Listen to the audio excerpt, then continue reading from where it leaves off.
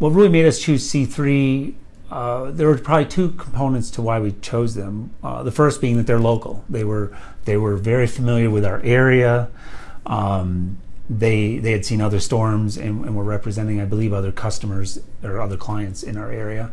And the second was just upon meeting um, the owners of the company and the representatives, uh, there was a really good fit. They seemed like they wanted to work with us. They took our interest to heart. Um, they weren't they weren't acting like salesmen, like like they could solve the problems of the world and, and we were going to get this windfall. They came in with real real true expectations with us, uh, and I think we like that. My belief is primarily in large losses, but even in small losses, um, I don't know many property managers that are versed enough in insurance claims and supplements and the policy language and the um, the statutory requirements. There's just no way as a property manager that you can know all that. I've been doing this for 25 years and been through numerous insurance claims and large losses, multi-million dollar losses, and I immediately look to a public adjuster because that's why you hire them.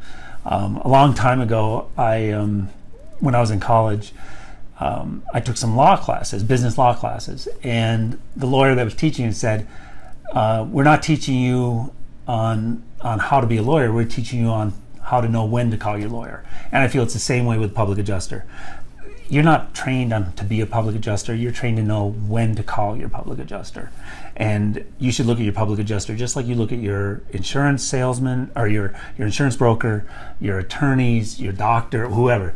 That's their expertise. That's who you should go to. They're like our first call now. We know that if there's a large loss, we can trust that they're going to be there for us. Um, they're just very responsive, uh, upfront they what I've noticed is they've been able to give us answers, and it's not always, you know, not every answer is in our favor, but they're good about telling us the truth and telling us, hey, here's where you stand on this issue, um, or here's where you stand with regard to this part of your claim. Um, they seem very fair. I think the insurance companies, though they may somewhat have a a, a confrontational uh, starting point, in the end, they, um, I think the insurance companies appreciate that they're fair, and they just want to get to the right number for everybody. They've done a great job by us, um, especially here in, in the Colorado and Denver area. Um, they know our weather patterns. They know um, the construction industry here. They, they just know our, our part of the country really well. Um, and I'm not hesitant, even when I've gone to national conferences, I've talked to other property managers around the country um, about the quality of work that uh, we saw come out of C3.